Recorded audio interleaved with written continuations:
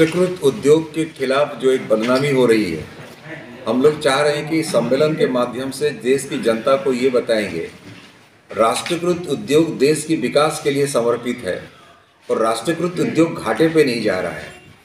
भारत में 255 public sector company एक साल के अंदर चौहत्तर हज़ार करोड़ का मुनाफा दिया। एल जो कि लोगों की संस्थान है और एक सार्वजनिक उद्योग है, वो हर साल साढ़े तीन लाख करोड़ से साढ़े चार लाख करोड़ का सरप्लस भारत सरकार को दे रही है। एक साल के अंदर लगभग तीन हज़ार करोड़ का डिविडेंड दे रही है एलआईसी और आज एलआईसी के पास जो परिसंपत्ति है, उस परिसंपत्ति का परिमाण है लगभग तैंतालीस लाख करोड़ रुपया। तो ये LIC भारत सरकार की है, लोगों की है, और लोगों को कल्याण के लिए समर्पित है। तो हम जनता से ये कहना चाहिए कि आप आइए, इस एलआईसी को और भी सशक्त बनाएँ, ताकि देश की विकास और जनता के विकास के लिए एलआईसी काम कर सके। आज हम लोग देख रहे हैं कि एलआईसी का शानदार प्रगति हो रहा है। लेकिन पब्लिक सेक्टर एलआईसी जैसा पब्लिक सेक्टर, इसका ग्रोथ या अभिवृद्धि इसका कोई माने नहीं रहता है, जब इसका फ़ायदा हमारे बेरोजगार नौजवानों को नहीं पहुँच पाएगा। आज देश में बेरोजगारी की जो आलम है, पिछले 45 सालों में बेरोजगारी इतना भयंकर रूप धारण नहीं किया था जितना आज किया है।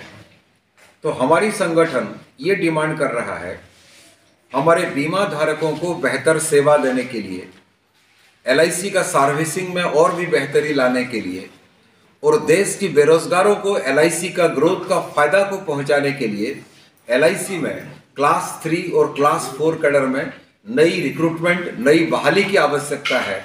उस मुद्दा को लेकर के हमारे सम्मेलन में हम लोग चर्चा करेंगे और ये सुनिश्चित करेंगे कि एलआईसी में रिक्रूटमेंट हो।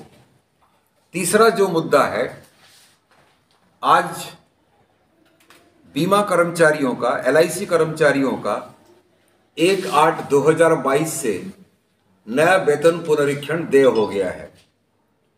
हमने हमारे संगठन के तरफ़ से एलआईसी मैनेजमेंट को अपना मांग पत्र रख चुके हैं एलआईसी मैनेजमेंट के सामने। ये सम्मेलन से, सम्मेलन की मंच से हम लोग ये रिजोल्यूशन लेंगे कि जल्द ही अविलंब वार्तालाप शुरू करते हुए हमारे जो बेसिक इकोनॉमिक डिमांड है वेतन पुनरीक्षण का, उसको भी LIC मैनेजमेंट मान ले। चौथा जो मुद्दा है आज हम लोग देख रहे हैं कि आज की केंद्र सरकार को बदनाम करते हुए राष्ट्रीयकृत उद्योग को बदनाम करते हुए निजीकरण का एक मुहिम चल रही है। जबकि हकीकत यह है कि राष्ट्रीयकृत उद्योग हमारे देश के आर्थिक विकास की प्रक्रिया में भरपूर योगदान कर रहे हैं और पिछले एक साल के अंदर चौहत्तर हज़ार करोड़ का डिविडेंड भारत सरकार को दिए हैं।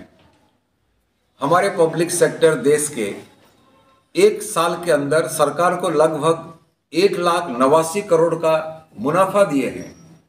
लेकिन सरकार की तरफ़ से झूठ फैलाया जा रहा है कि पब्लिक सेक्टर काम नहीं कर रहा है।